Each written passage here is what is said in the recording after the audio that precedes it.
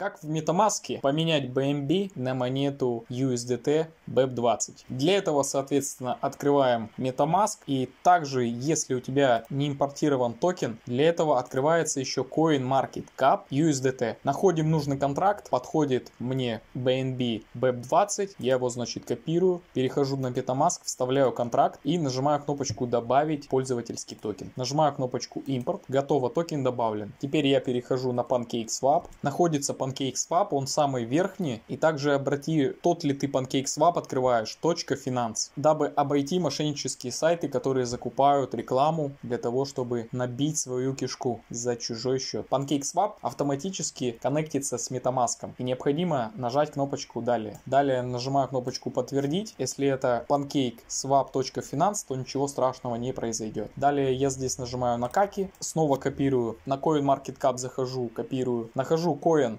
CoinMarketCap USDT. Нахожу, значит, CoinMarketCap USDT, вот он в списке. Тоже обрати внимание, что официальный сайт .com и дальше после этого ничего не следует. Далее здесь открываю море, то есть много, и выбираю BNB Smart Chain BEP20. Копирую адрес контракта и точно таким же образом вставляю его, получается, сюда, в Cake. Вместо Cake я добавляю USDT. Открывается менеджер, который э, коннектится еще дополнительно с CoinMarketCap, с CoinGecko. Кстати, очень удобная штука. Все, которые токены на CoinMarketCap присутствуют, они будут сразу здесь автоматически появляться. Я решил отключить. Нажимаю просто Cake, спускаюсь вниз и вот нахожу USDT он здесь указан просто как USDT. Тем не менее, с, с обменом а, проблем не предвидится. Почему? Потому что, в принципе, сам MetaMask подключен уже на сети Binance Smart Chain BEP20. И здесь совершаю обмен. Нажимаю просто кнопку Swap. Обрати внимание, что стоит проскальзывание 0,5%. А при обмене таких монет, в принципе, проскальзывание особо не задействуется. Я соглашаюсь с тем, что цена изменилась и нажимаю кнопочку Swap. Далее спускаюсь вниз и здесь нажимаю кнопочку подтвердить купить. А комиссия тоже составляет не особо много, там копейки. Далее нажимаю кнопочку Close, закрыть.